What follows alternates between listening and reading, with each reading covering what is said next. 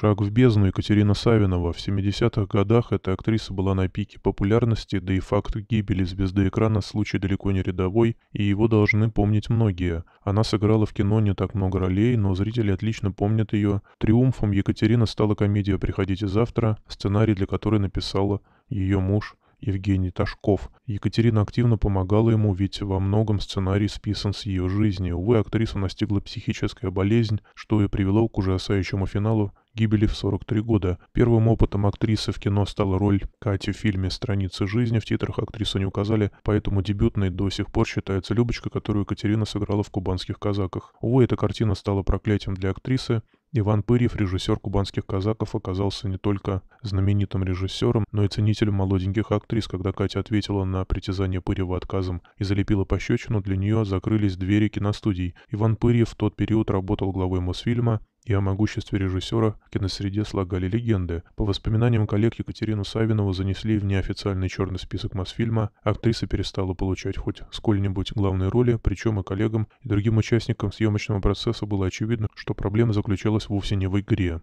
Период забвения продолжался 13 лет, но актриса все же снималась, а она сыграла у Григория Чухрая в балладе о солдате, в короткометражных фильмах «Чук и Гек», «В степи», «Месть» и других. Екатерина с радостью бралась за любую роль и выкладывалась на 150%, но мечтала актриса о роли всей своей жизни. Такой ролью для Екатерины Савиновой стала Фрося Бурлакова в картине «Приходите завтра». Часть поклонников также уверена, что актриса совершила расплату над собой. Не из-за болезни, помутнившей сознание женщины. В такой трактовке страшное происшествие стало следствием исковерканной судьбы актрисы, а значит до смерти женщину довел также отвергнутый режиссер. Последняя роль актрисы Аннушка в картине «Расплата» зрители увидели ее в 70-м году. Проблемы со здоровьем начались у актрисы еще на съемках «Приходите завтра», пришлось их прервать на год. Вскоре врачи диагностировали у актрисы бруцеллез, а когда заболевание диагностировали и начали лечить, выяснилось, что бруцеллез поразил нервную систему, что, по мнению врачей, стало впоследствии причиной смерти актрисы. В дальнейшем у Екатерины Савиновой развилась шизофрения. В 70 году Савинова объявила родным, что уезжает погостить к сестре в Новосибирск, а 25 апреля того же года она бросилась под поезд. Актриса похоронена на кладбище в Новосибирске.